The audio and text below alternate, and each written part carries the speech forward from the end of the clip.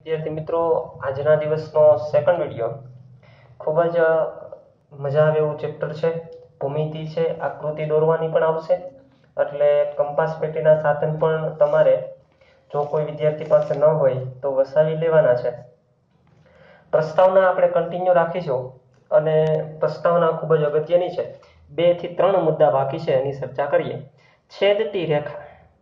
તમે આકૃતિમાં જુઓ કે આ એક રેખા, તમે રેખાની તો હવે ખબર પડી ગઈ છે, બરાબર? આ જે એક રેખા દોરી છે, એનું નામ એલ વન આપ્યું છે. એટલે કે પેલી એક એલ વન બીજી રેખા દોરી છે, એનું નામ મેં એલ ટુ આપ્યું છે, બરાબર? એક રેખા, આ બીજી રેખા. બંને જુઓ, ક્યાં ભેગી થાય છે? એ ભેગી થાય ને, એને છેદવું કહેવાય બરાબર? કે છેદે છે, આ બંને એલ વન અને એલ ટુ એક જગ્યાએ છેદે છે. એને નામ આપી દીધું પી બિંદુ પી બિંદુ પી છે ત્યાં એલ વન અને એલ બંને ભેગી થાય છે. બંને છેદતી રેખા છે. તો આકૃતિમાં એલ વન અને એલ એ બિંદુ પીમાં છેદે છે, તો તે બંને રેખાઓને છેદતી રેખા કહે છે. એકદમ સહેલું છે કે બંને રેખા એકબીજાને જો છેદતી હોય, તો બંને રેખાને છેદતી રેખા કહે છે. ત્યાર પછી સમાંતર રેખા.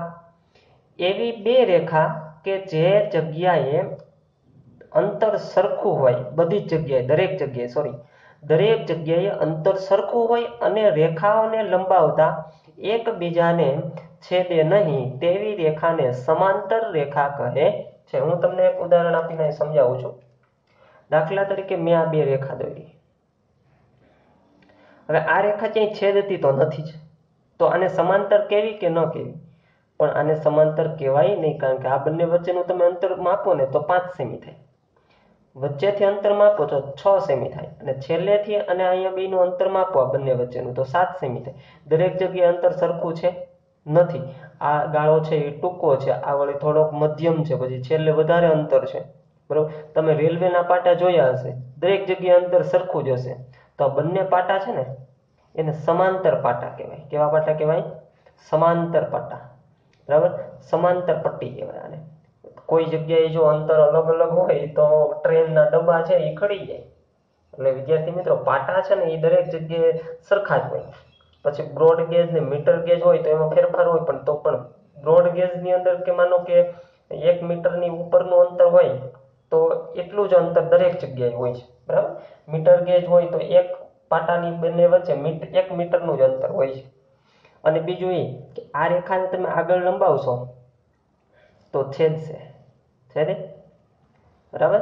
અને આ બંને રેલવેના પાટા છે એ કદાચ અલ્હાબાદથી દિલ્હી સુધી જાય કે બોમ્બેથી અમદાવાદ સુધી જાય, ક્યાંય પણ ભેગા થશે નહીં. તો સમાંતર એને કહેવાય કે આગળ જતા તમે એ બંને રેખાને લંબાવો, તો ક્યાંય પણ છેદે નહીં, એકબીજા ટચ થશે નહીં. આ બંને આગળ લંબાવશો તો છેદશે. બરાબર છે? દરેક જગ્યાએ અંતર સરખું હોય એકબીજાને રેખા છેદતી નથી, તો એ બંને રેખાને સમાંતર રેખા કહે છે. અહીંયા મેં ઉદાહરણ આપ્યું છે. ટેબલની સામ સામેની ધાર જો ક્યાંય છેદશે, ટેબલની એક આ બાજુની ધાર હોય, એક સામેની ધાર હોય, બરોબર? ક્યાંય છેદશે નહીં. બંને બંને વચ્ચે અંતર સરખું. રેલવેના બે પાટા. ઓકે. આ બંને રેખા જો એ બી અને સીડી બંને સમાંતર રેખા છે. દરેક જગ્યાએ અંતર સરખું છે. અહીંથી તમે અંતર માપો તોય પાંચ સેમી થાય, વચ્ચેથી અંતર માપો તોય પાંચ સેમી થાય ને છેડેથી અંતર માપશો તો પણ પાંચ સેમી. દરેક જગ્યાએ અંતર સરખું છે. વિદ્યાર્થી મિત્રો, ત્યાર પછી આપણે એક વર્તુળનો અભ્યાસ કરવાનો છે. વર્તુળની અંદર કેટલીક મહત્વની વાત છે કે એની કેટલાક અંગ છે. તો એ આપણે વ્યવસ્થિત સમજીએ. પી એ વર્તુળનું કેન્દ્ર છે. હવે કેન્દ્ર કઈ રીતે મળશે? તમે વર્તુળ દોરતા શીખા હશો. આર્ટ એન્ડ ક્રાફ્ટની અંદર પણ, બીજે ક્યાંય પણ તમે વર્તુળ દોરવાનું આવતું હોય, તો તમે એક પેન્સિલ અને એક પરિકર બંનેને વ્યવસ્થિત ગોઠવ્યો. એટલે તમે જે જગ્યાએ પેન્સિલની અણીવાળો ભાગ રાખ સોરી પરિકરનો અણીવાળો ભાગ રાખશો ને પછી તમે વર્તુળ દોરશો. બરાબર? તો અણીવાળો જે ભાગ રાખ્યો છે બરાબર? એ વર્તુળનું કેન્દ્ર થશે. અહીંયા મેં પરિકરથી મદદથી વર્તુળ દોર્યું છે. તો પી છે, અહીંયા મેં પરિકર રાખ્યું છે. અને અહીંયા વર્તુળ ફરતે પેન્સિલ ચલાવી છે, બરાબર? એટલે અહીંયા નાના નાના ટપકા થશે બધી જગ્યાએ. અને એ બધા ટપકા છે એક સાથે જોડાશે. અને એક વર્તુળ બનશે. તો મધ્યમાં છે એ પી છે, વર્તુળનું કેન્દ્ર છે. વર્તુળના કેન્દ્રમાંથી પસાર થાય તેને વર્તુળનો વ્યાસ કહેવાય. કેન્દ્રમાંથી જો મેં એક રેખા પસાર કરી છે કરી છે? કઈ રેખા છે? રેખાખંડ. રેખા કયો કે રેખાખંડ કયો? આવશે બરાબર? અહીંયા કંઈ એવું કંઈ છે નહીં. બરાબર? જો આ સીડી છે, એ વર્તુળના કેન્દ્રમાંથી પસાર કર્યું છે. કર્યું છે? બરાબર? તો આ સીડી છે, એ વર્તુળનો વ્યાસ છે, મેં લખ્યું છે. વર્તુળ પરના કોઈ બે બિંદુને જોડતો, વર્તુળ ઉપરના કોઈ પણ બે બિંદુ હોય માનો કે બીજા આ બે વર્તુળ ઉપરના બિંદુ છે. એ કેન્દ્રમાંથી પસાર થાય કે ન થાય? એ બંનેને જોડતો રેખાખંડ છે, એને વર્તુળની જીવા કહે છે. બરાબર? વર્તુળની જીવા કોને? વર્તુળ ઉપરના કોઈ પણ બે બિંદુને જોડે. એવો એક રેખાખંડ દોરે. તો એને વર્તુળની જીવા કહેવાય. મેં અહીંયા બે નામ લખ્યા છે. એક છે પી આર અને બીજું છે સીડી તો વિદ્યાર્થી મિત્રો, તમને એમ થતું હશે સી ડી તો વ્યાસ છે. તો વ્યાસને પણ જીવા કહી શકાય છે. એ સૌથી મોટી જીવા છે. જે કેન્દ્રમાંથી પસાર થાય ને, એને વ્યાસ તો કહેવાય જ. અને બીજું શું કહેવાય? જીવા પણ કહીશું. બરાબર? વર્તુળ ઉપરના બે બિંદુ સી અને ડી બંનેને જોડે છે. ભલે ને કેન્દ્રમાંથી પસાર થાય તો એને જીવા કહેવાય. પી આર છે એ પણ વર્તુળના બે બિંદુને જોડે છે, એટલે એને જીવા કહીશું.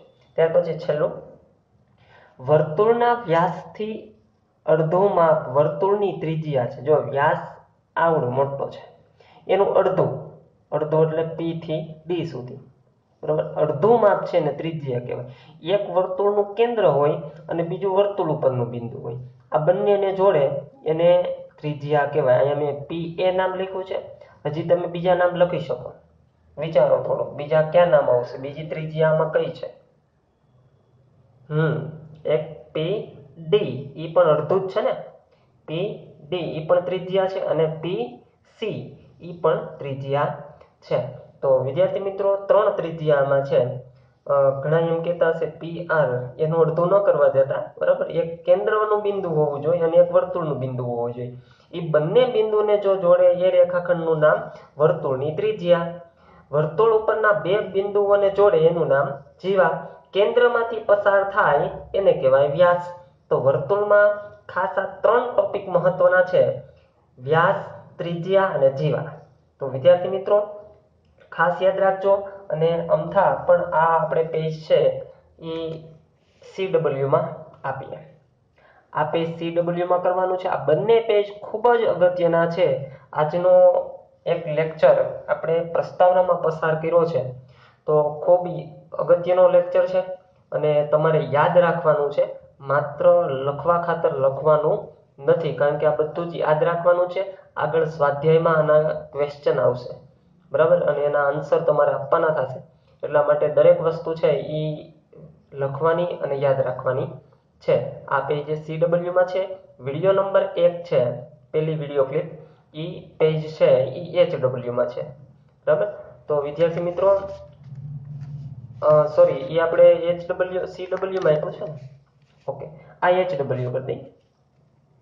એચ ડબલ્યુમાં વીડિયો નંબર બે. બરાબર? આ એચ ડબલ્યુ પહેલું પેજ સીડબલ્યુમાં છે અને બીજું પેજ એચડબલ્યુમાં રેડી ઓકે તો વીડિયો સ્ટોપ કરી અને વ્યવસ્થિત સારા અક્ષરે આકૃતિ દોરવાની છે અને લખવાનું છે. બંને સી ડબલ્યુ અને એચ ડબલ્યુ વ્યવસ્થિત લખવાનું છે. આભાર.